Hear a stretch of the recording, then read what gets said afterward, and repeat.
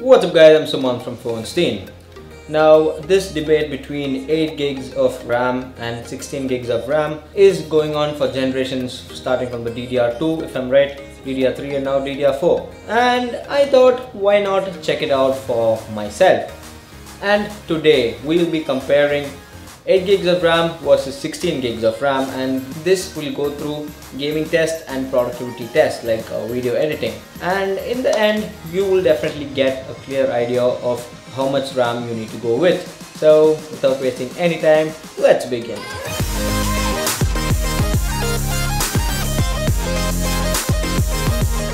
Now talking about the RAM, we are going to be using a RAM kit from G-Skill and this is from the Ripjaw series of course and this RAM is clocked at 2400 megahertz.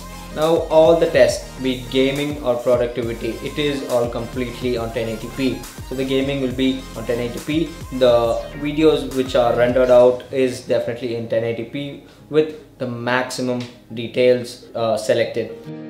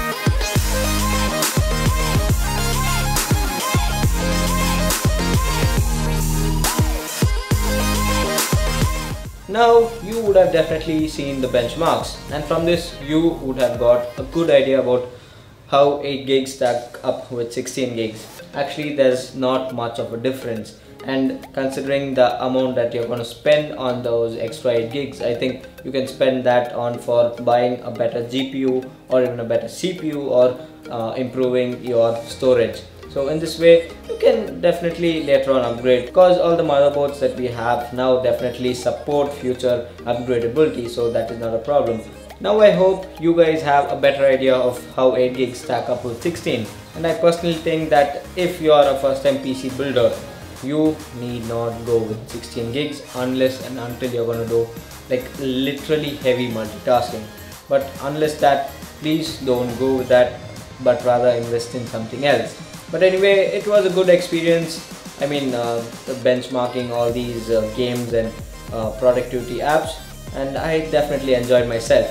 But anyways, thank you for watching, and this is Suman signing off once again. Catch you later.